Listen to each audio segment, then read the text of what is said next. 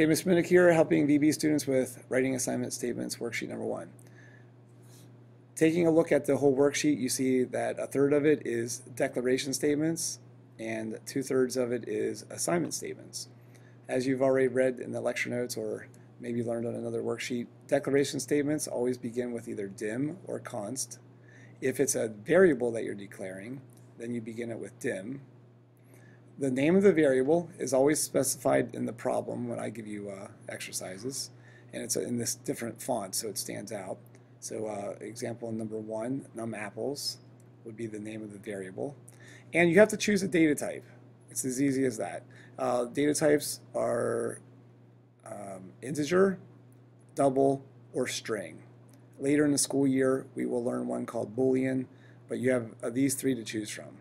If the thing that you're uh, declaring, the variable that you're declaring, needs to store whole numbers, you choose integer. If it needs decimal numbers, you choose double. And if it's words, like Minich uh, or why I'm missing, it would be a string. Well, this is pretty obvious in number one, it's an integer, and number two, you see it's a double, and so on. So uh, write that out next, your data type that is, but you need the keyword as in there. So what we have now, if you uh, read this back to yourself, declare the variable numapples as an integer so that it can store whole numbers. And you can now use the variable numapples elsewhere in your code.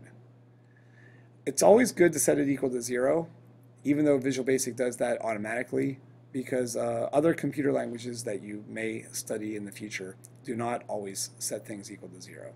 So there's the answer to number one. Number two is uh, very similar. You can do that on your own. And number three is very, very similar. It's just that uh, we start with const instead of dim. And keep in mind in number three, we're setting the variable equal to the constant equal to 3.359 instead of zero. Okay, the, the other part of the worksheet, it's all assignment statements. An assignment statement works from right to left, as I no doubt have stressed in class already, from right to left.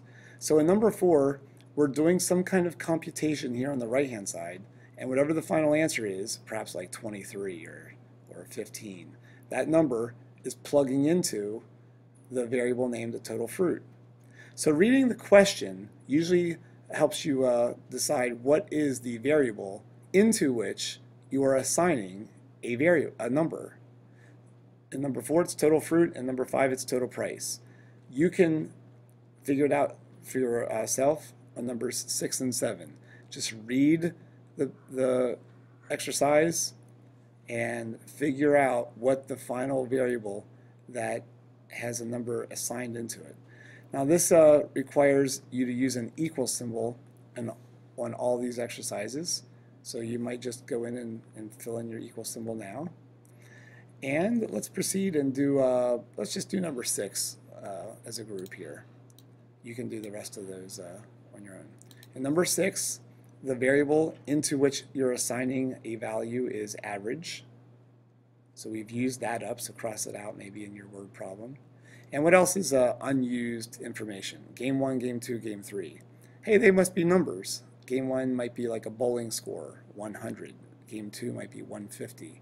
Game three might be like a, a 200 or something in bowling. So we're supposed to add those up. Uh, oh, you should know how to compute an average. You add things up and you divide by the number of things that you added up. So uh, we have three things there put parentheses around that because the order of operations requires you to add those first, and then divide. And you would just know to divide by 3 here. If you don't know that, go back to algebra class.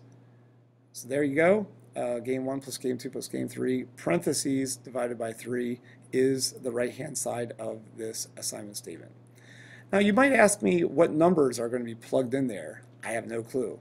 When this program executes someday with a customer or somebody uh, running this program, they will be typing in three numbers. And those three numbers you can just assume will be plugged in there.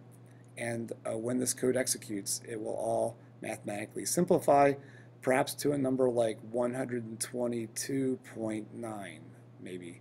And that final uh, number there would be assigned into the variable average. That's just the way it works. Okay, number seven, notice that I use the word product. That means multiplication. you'll be multiplying something by 1.06 as part of your answer.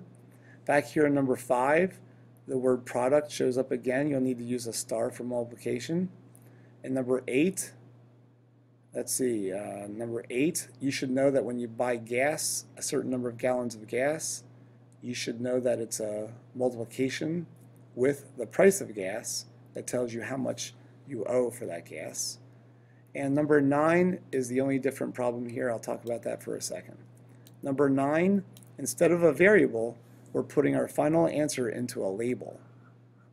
And labels have that text property that you always have to remember to uh, type out.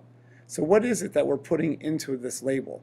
Well, we are not adding, subtracting, or dividing here. We are doing something called concatenation. I believe we've already studied that this school year. It involves a plus sign. And what are we uh, concatenating? A dollar symbol. And we are concatenating it with grand total. Let's say that grand total is $20. So uh, whatever grand total is needs to be concatenated with a dollar sign. This is close to the final answer. I'm not going to uh, provide you with the rest of the answer. But because these two things are strings, uh, and strings are always wrapped in double quotes, you have to add double quotes somehow to this exercise. Uh, there's also another twist. You have to use the str function that converts numbers into strings. So somehow the quotes and the str command gets used here uh, to finish your final answer for number nine. Please reread the lecture notes or any previous worksheets to uh, help you if uh, you're not sure what to do from this point on.